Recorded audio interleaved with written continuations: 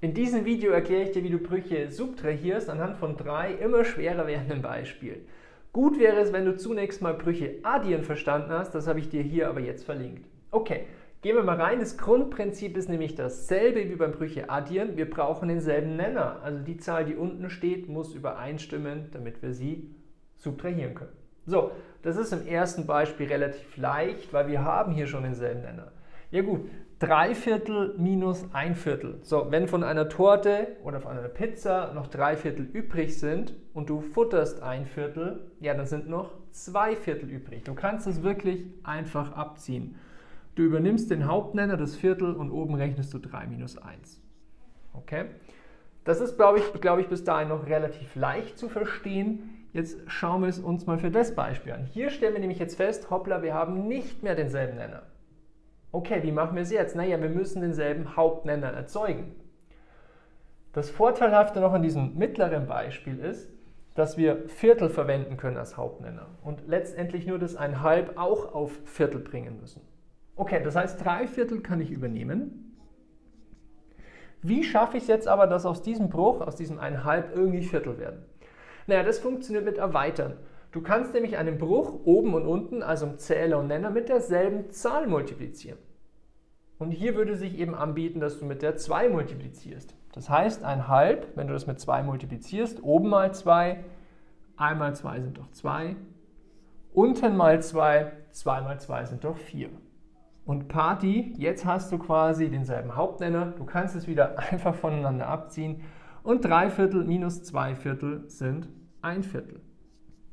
Übrigens hättest du hier noch kürzen können, so wie du erweitern kannst, indem du oben und unten mit der gleichen Zahl multiplizierst, kannst du auch kürzen, indem du oben und unten mit derselben Zahl dividierst. Nur, by the way, hier geteilt durch 2 und hier geteilt durch 2 wäre 1,5. So, wir gehen jetzt aber mal zum dritten und gleichzeitig schwierigsten Beispiel. Bei 5 Sechstel minus 3 Viertel kannst du weder das Sechstel noch das Viertel wirklich gut nutzen und du musst dir einen gemeinsamen Nenner überlegen. So, jetzt könntest du entweder den billigen Trick machen, dass du einfach 6 mal 4 rechnest, das sind 24, damit hast du immer einen Hauptnenner, aber es ist nicht das kleinste gemeinsame Vielfache. Naja, was könnte das kleinste gemeinsame von 6 und 4 sein? Das kleinste gemeinsame Vielfache, kurz überlegen, 12, oder? So, das heißt, wir können beide Brüche auf 12 bringen und müssen uns jetzt überlegen, mit welcher Zahl müssen wir multiplizieren, dass wir im Nenner Zwölftel stehen haben. Okay. Überlegen uns das mal für 5 Sechstel. Ich glaube, da leuchtet es relativ schnell ein. Ja, wenn ich oben und unten mit 2 multipliziere, dann erhalten wir das. Und 5 mal 2 sind doch 10. 6 mal 2 sind doch 12. Ähnliches Spiel jetzt beim zweiten Bruch. 3 Viertel musst du halt jetzt mit 3 multiplizieren. Dann erhältst du doch oben 9 und unten 12. Und et voilà, jetzt können wir es wieder schön voneinander abziehen. 10 Zwölftel minus 9 Zwölftel sind 1 Zwölftel. So, angenommen, du hast jetzt Probleme, das kleinste gemeinsame Vielfache zu finden. Dann habe ich ja gesagt, der billige Trick, dass du die zwei Zahlen, die zwei Nenner miteinander multiplizierst, funktioniert immer. 6 mal 4 sind doch 24, oder? Das heißt, wir hätten uns jetzt überlegen können, okay, dann bringe ich halt beide Brüche auf 24.